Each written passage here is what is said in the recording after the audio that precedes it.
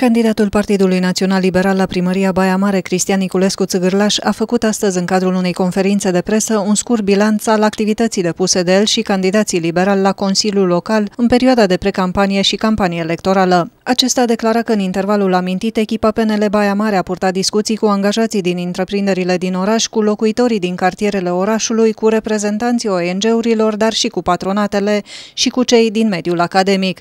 Țăgârlaș a mai afirmat că au fost singurii care au mers în zonele sărace ale municipiului pentru care susține că liberalii au soluții, astfel încât soarta celor care locuiesc acolo să se schimbe. Candidatul PNL a înaintat și un termen, un an de zile, pentru rezolvarea problemelor din perimetrele amintite. Acesta a mai spus că în ultimele săptămâni a constatat că băimărenii din centrul orașului nu cunosc problemele din cartiere, că oamenii au bani puțini și că sunt probleme legate de infrastructură.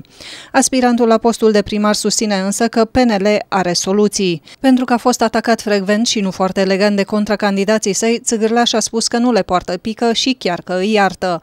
Mai mult a declarat că formațiunea din care face parte va câștiga alegerile locale ce se apropie.